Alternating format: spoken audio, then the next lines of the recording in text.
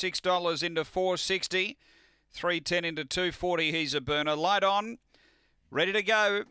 Chadwick's been quite easy here. Six fifty out to ten dollars for Chadwick.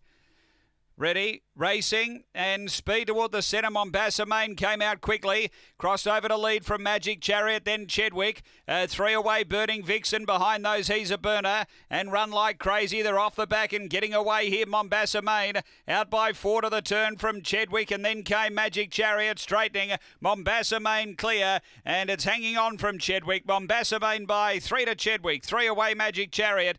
Uh, then he's a burner. Behind those is uh, Burning Vixen. And Run Like Crazy was back at the tail end. The time here is around 22 and 60. Race two.